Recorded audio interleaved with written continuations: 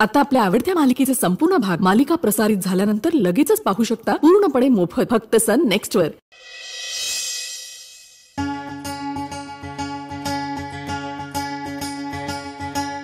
वृंदा! खाली उतर. तू आधी खाली उतर. खाली उतर. सावकाश सावकाश. हा. सावकाश. हा येडी झाली का ग तू? प्रेग्नंट आहेस तू.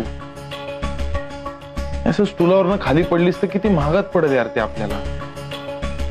पडू दे महाकात हे असंच मी आणि माझं बाळ मरून जाऊ दे. तेव्हा तुम्ही सुटा गपे येडी झाली का ग तू? काय तोंडाला येईल ते बोलत सुटली का? का? काय झालं? माझ्या पोटात वाढणारं बाळ तुमचं पण आहे ना? आहे ना? हो आहे. मग तुम्हाला पण लाज वाटायला पाहिजे ना या सगळ्याची?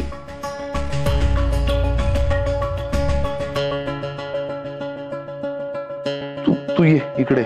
एक एक मिनिट इकडे. बस. बस.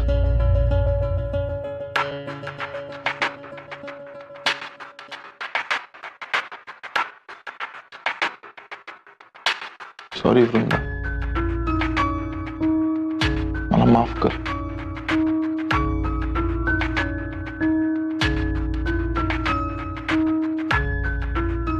मला कळतच नाहीये मी आता काय केलं पाहिजे.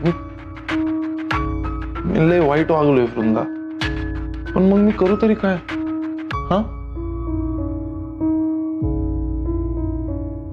आपलं स्वतःच एक घर असावं.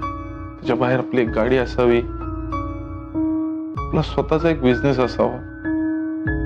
नाशकातल्या लोकांनी त्याच्या पोरांना रानासारखं बनायचंय तुम्हाला असं पण तसं काहीच होत नाही यार वृंदा. पण जे काही करतोय ते सगळं फसतच जातंय.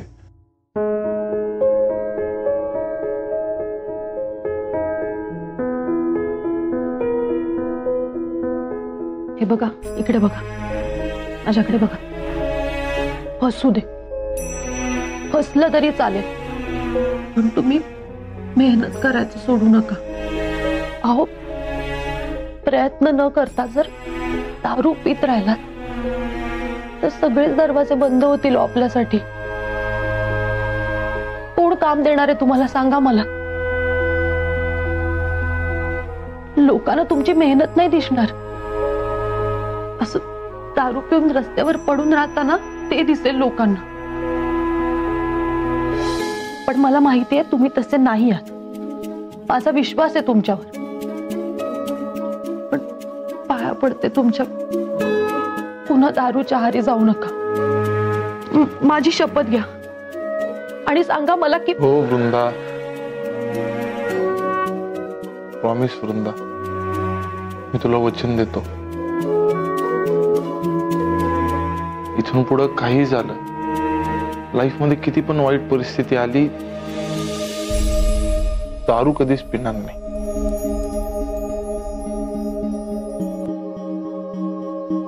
मला खात्री आहे. तुम्ही पुन्हा वाईट मार्गाला नाही जाणार. आपले हेही दिवस जातील आणि चांगले दिवस येतील. खूप मेहनत कराल तुम्ही पूर्वीसारखी. आणि आपण आपल्या बाळाला चांगलं भविष्य देऊ. हो ना?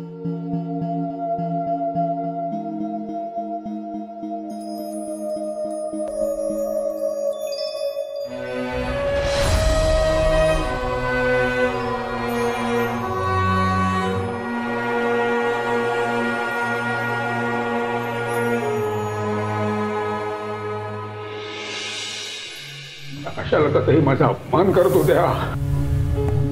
तेव्हा असं वाटत होत की धरणी तुभंगावी आणि पोटात घ्यावं तिने मला. त्याच्या बोलण्याचा इतका ठटका बसला होता मला.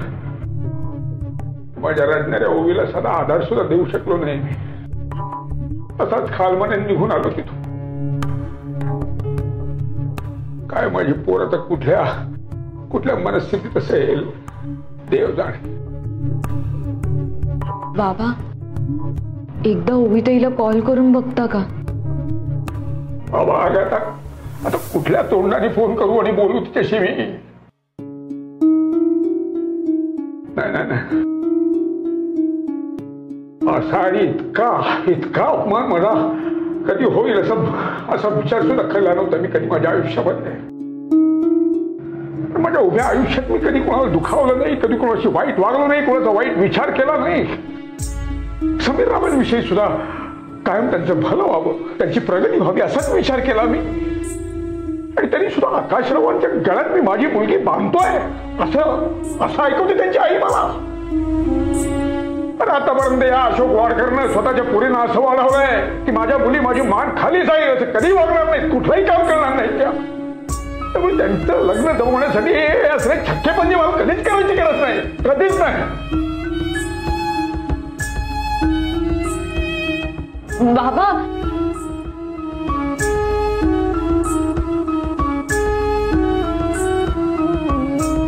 वेदा. बाबांचा किती विश्वास आहे आपल्यावर. त्यांचा हा विश्वास कधीच तुटता कामा नये. त्यांच्या पुढे आपलं स्वप्न आपलं ध्येय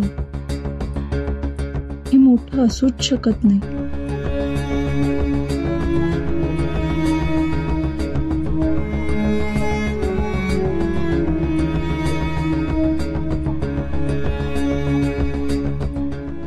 नेमकं काय म्हणतेस कळलं नाही.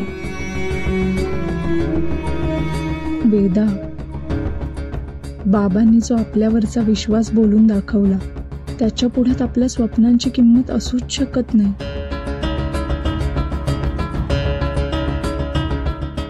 त्यांचा आपल्यावरचा विश्वास टिकवून ठेवणं मला जास्त महत्वाचं वाटतंय. बाबांचा विश्वास की आपलं स्वप्न. या दोघांपैकी एकाची निवड करायची वेळ आली ना तर आपण बाबांच्या विश्वासाची निवड करायला हवी.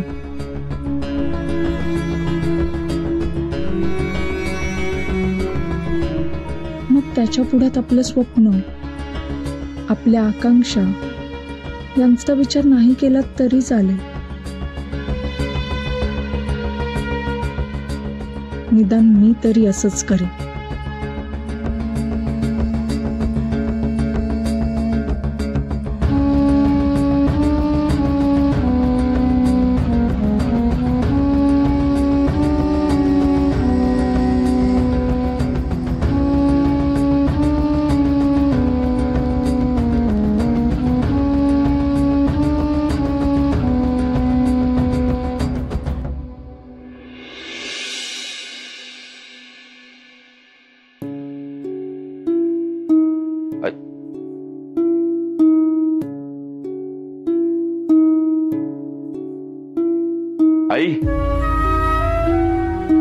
भाजी आणली.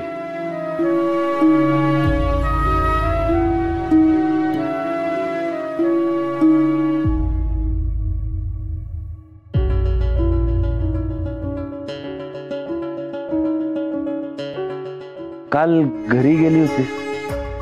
का रे बाबा? जायला नको होतं? अगं मी सहज विचारतो. काही सहज नाही.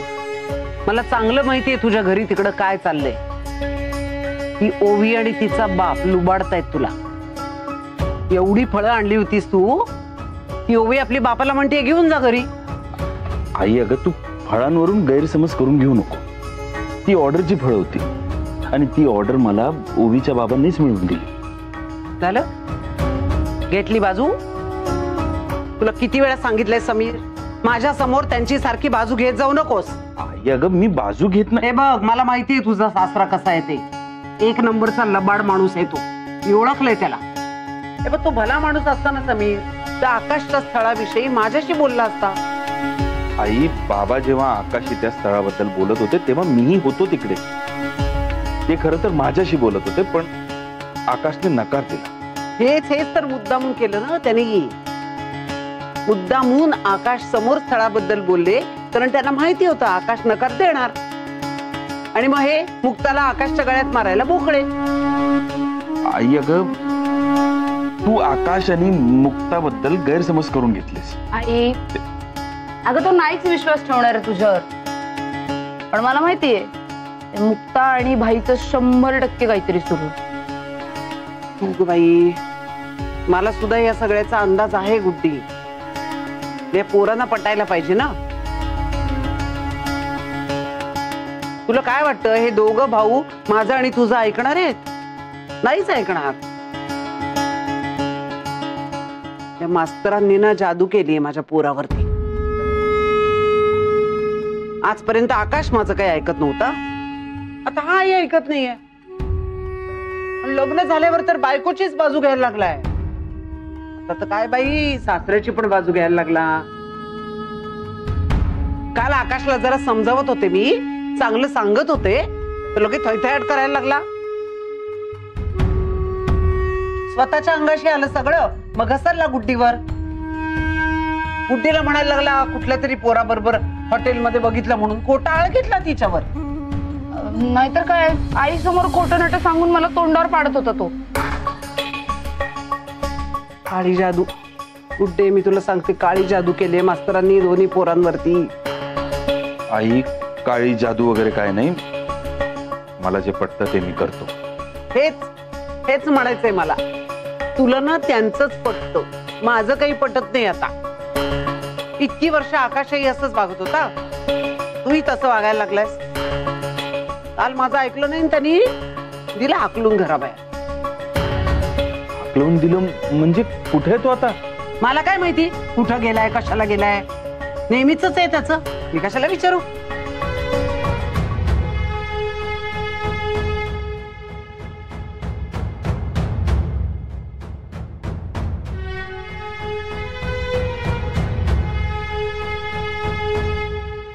रेस्टॉरंटचं काय प्रकरण आहे?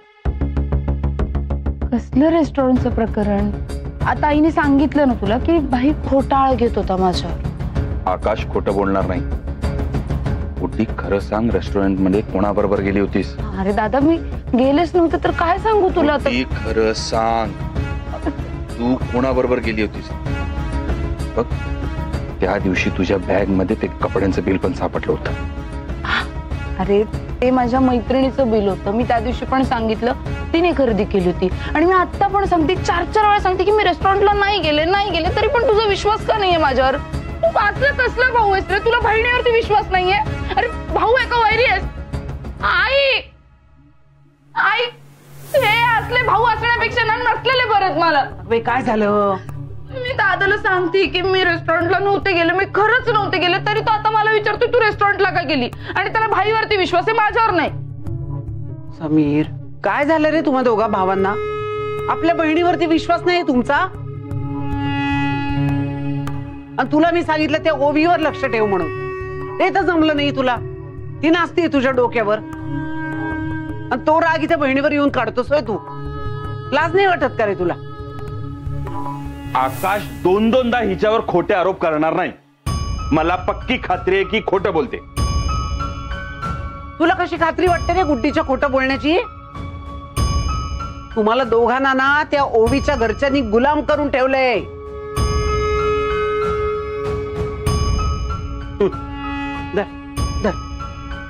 भाजी तू आणलेली. हा बाजार.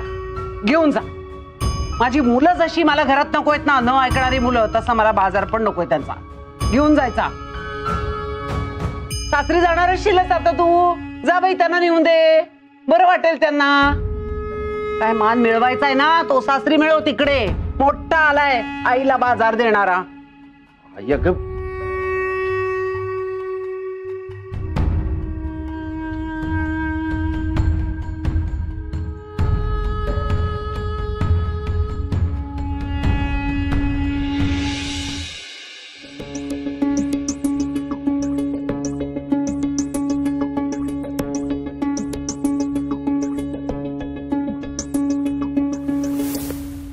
हॅलो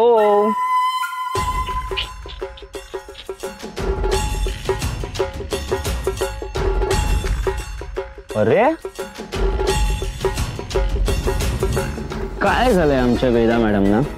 हं? नाही म्हणजे त्यांचं एवढं फेवरेट आईस्क्रीम आणलंय तरी पण असा चेहरा पडलाय.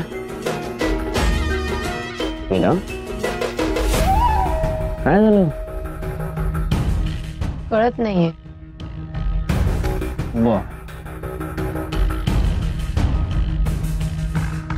मग अशा वेळी काय करायचं माहितीये का आपल्यासोबत जी व्यक्ती असते त्याच्याबरोबर शेअर करायचं? डिस्कस करायचं? मग त्यातून मार्ग निघतो मला काय झालं आपण मार्ग करू बाबांना वाईट वाटू नये. म्हणून स्वतःचं प्रेम विसरायला तयार झाली रे मुक्ता.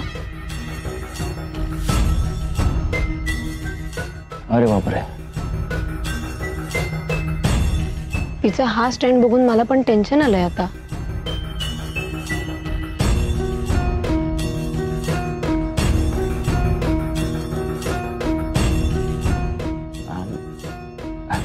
मग कसं आहे वेदा?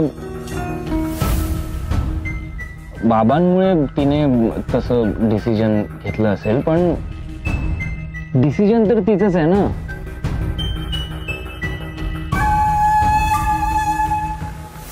Veda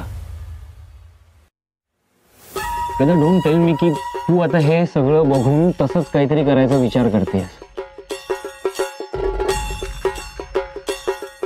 कन्फ्युजन झालंय माझं. पण मी कन्फ्यूज़ नाहीये. मला खूप व्यवस्थित माहिती आहे की माझं तुझ्यावरच प्रेम आहे. जर तू असं काही डिसिजन घेणार असशील तर यावेळी जो मी सुसाईड अटेंड करेल तो नक्कीच. अबीर मूर्खासारखं काहीतरी बडबडू नकोस.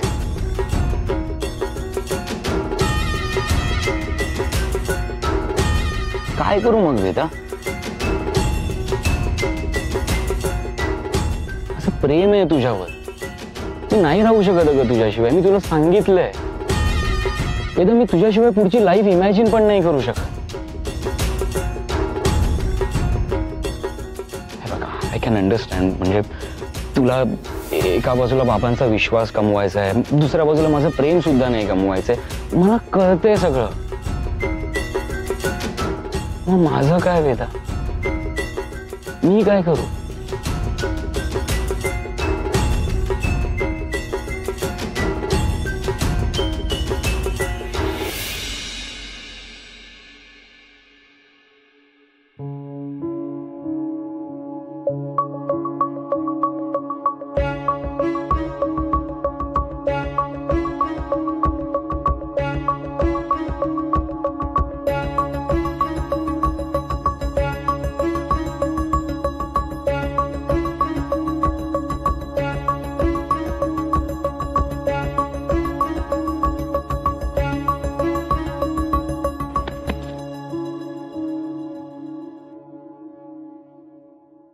दादा तू काय करतो इथे?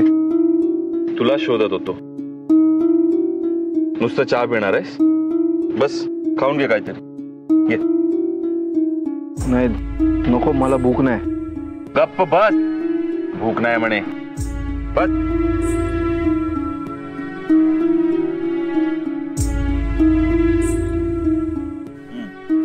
खरंच नकोय मला. का म्हटलं ना.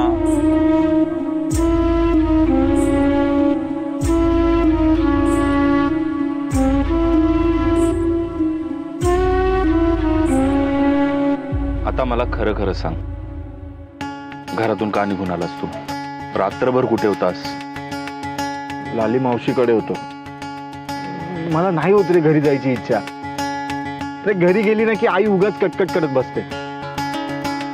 गुड्डीला काय सांगितलं? भाऊ म्हणून तिला समजवलं तर ती आरडाओरडा करायला लागते. आणि आई तिला काहीच बोलत नाही. आई परत येऊन मलाच ओरडते. मी नाही जाणार घरी परत. आकाश गुड्डी आपली सक्की बहीण आहे. भाऊ म्हणून तिच्यावर लक्ष ठेवणं आपलं कर्तव्यच आहे. हे बघ, गुड्डी ज्या वयात आहेत त्या वयात ती कुठल्याही मुलाच्या प्रेमात पडू शकते. फक्त तो मुलगा वाईट नसावा. याच्यावर आपण लक्ष द्यायचं. आता गुड्डी ज्या वयात आहे त्या वयाच्या मुली उत्साही असतात प्रेमात पडतात. आणि त्या उत्साहात जर पाय घसरला तर त्यांचं तर नुकसान होतच. परिवाराची पण बदनामी होते. तसं काय होऊ नये म्हणून आपण गुड्डीवर लक्ष ठेवायचंय. आणि त्यावरून आई तुला काही बोलली तर तू घर सोडून निघून जाणं हे त्यावर उपाय नाहीये आकाश. दादा मला काय हौस नाही घर सोडून जायची. पण घरी माझं कोणी ऐकतच नाही. आई तर ऐकत नाहीच. गुड्डीला पण काय सांगितलं ती पण ऐकत नाही. हम्म. मला तुझा प्रॉब्लेम कळलाय. आज सकाळी मी पण घरी गेलो होतो.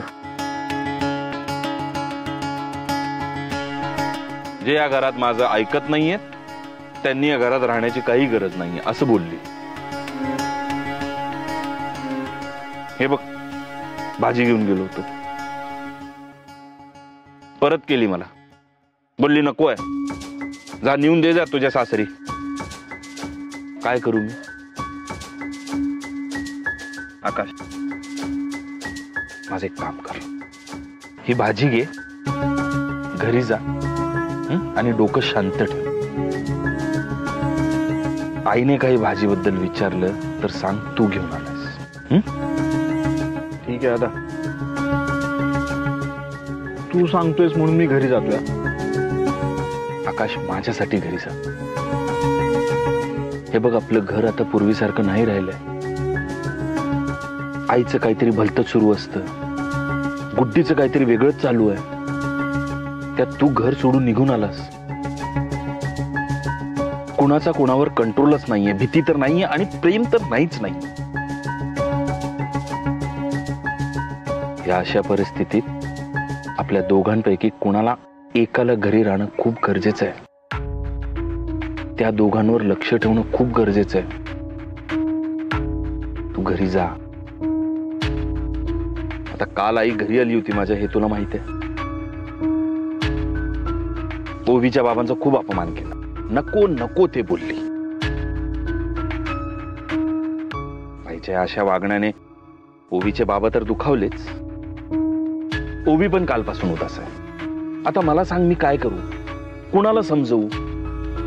मला ना काही कळतच नाही आता.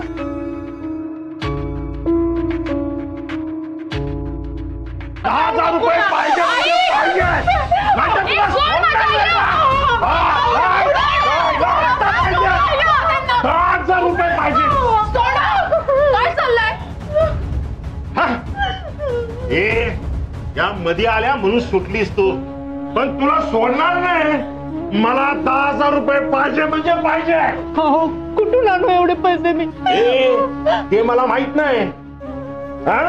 तू आणि तुझ्या या पोरी माझ्या घरात राहतात ना हॉटेल चालवताना पैसे छापताना हा? मग या दोन्ही गोष्टीचं भाडं आहे असं समज.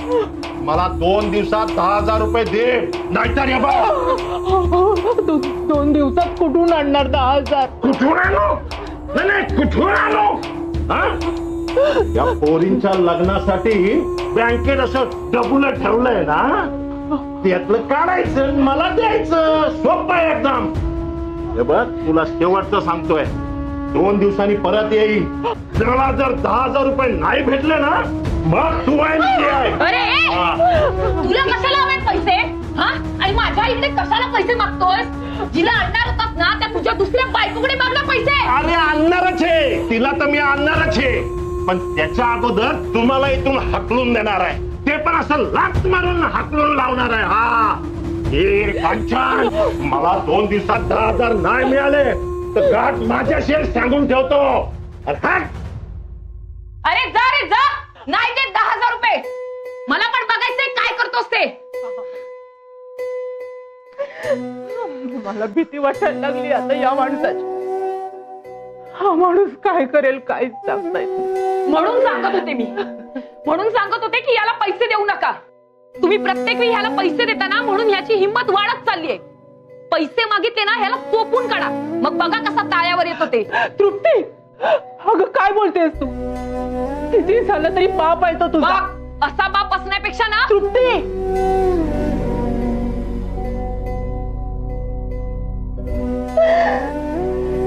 या पोरींच्या लग्नासाठी म्हणून मी पै पै साठून पैसे जमा केले. त्याच्यावर पण याचा डोळा. आई जाऊ देत ते पैसे. तू देऊन टाक त्यांना. निदान ते गप्प तरी बसतील आणि या घरात पुन्हा एकदा शांती येईल. नाही नाही पोरी. अगं तुमच्या लग्नासाठी म्हणून मी पै पै साठवलेत पैसे माझा जीव गेला तरी चालेल पण ते पैसे मी कोणाला नाही देणार. ताई काय करायचं आता? आरती तू काही काळजी करू नकोस. सगळं ठीक होईल.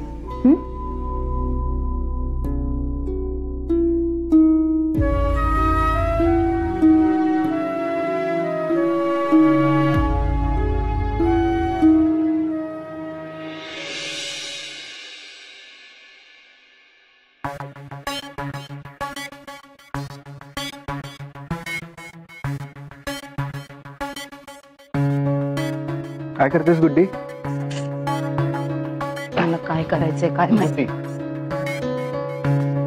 हे बघ त्या दिवशी एका मुलाबरोबर मी तुला रेस्टॉरंटमध्ये बघितलंय. मी अजिबात रागवून बोलत नाही. मी भाऊ आहे ना तुझा. खरंच काळजी वाटते तुझी. मला सांग ना कोण आहे तो मुलगा? काय करतो? कुठे राहतो? बरा आहे ना तो? ए आई हा भाई बघ ना रेस्टॉरंटचा विषय काढून मला त्रास देतोय. मी त्रास नाही देत ए आकाश कशाला आला परत तू? जिकडे गेला होतास तिकडेच राहायचं ना? आलाय बोमलत. आणि आल्या आल्या माझ्या मुलीला बोलायचं नाही सांगून ठेवतय. गाई मी काय उगाच बोलतोय का? मी भाऊ आहे ना तिचा. तिच्या भल्याचाच विचार करतोय अगं. अ माहितीये ना कसलं भलं ते माहितीये मला. आधी ती वहिनी घरात होती तर तिची बाजू घेऊन माझ्याशी भांडायचा. आता ती गेली तर सरळ सरळ माझं डोकं खातोय. आई हा ना कुठलं ना कुठलं कारण काढून माझ्याशी भांडण करत असतो. हे तू जिकडून आला तिकडे जा ना जा ना परत. जा. ना जाणारच आहे. मला काय हौस नव्हती परत इकडे यायची. समीर दादा मला म्हणाला घरी जा म्हणून मी घरी परत आलोय. बाई समीरनी पडवून पाठवलंय तुला. दोघ जण ना हल्ली एकच भाषा बोलतात. तुमचं काय करायचं ते करा तुम्ही. माझ्या मुलीला बोलायचं नाही. आई आम्ही का त्रास देऊ तिला? आम्ही भाऊ आहोत ना तिचे तिच्या भल्याचाच विचार करतोय अगं. नको रे बाबा नको. आटली माया उतू जाऊ देऊ नका आता हा?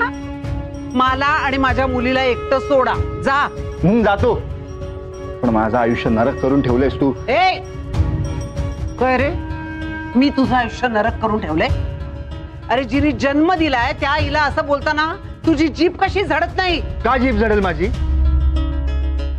आणि आई तू गुड्डीला जे पाठीशी घालतेस हा मला दोन्ही भावांना जे बोलून दाखवतेस ना एक ना एक दिवस पश्चाताप होईल तुला लक्षात ठेव. जातो मी. कुठे जातो? कुठे जातो? कोण ठेवून घेणार तुला? जिथे मी चाललोय ना तिथे या आधीच जायला हवं होतं. ओवी वहिनीकडे. आणि ये गुड्डी इथून पुढे तुझ्या आयुष्यात जे काही घडेल त्याच्याशी माझा काहीही संबंध नसेल. तुला काय करायचंय ते कर. बरं झालं जा. ओवीकडे जातोय होय? त्या अशोक मास्तरला जसा मूग गिळून गप्प बसायला लावला की नाही गुड्डे? तस या ओवीला मिठाची गुळणी धरून नाही गप्प बसायला लावलं ना मी नावाची आशालता नाही. बघतो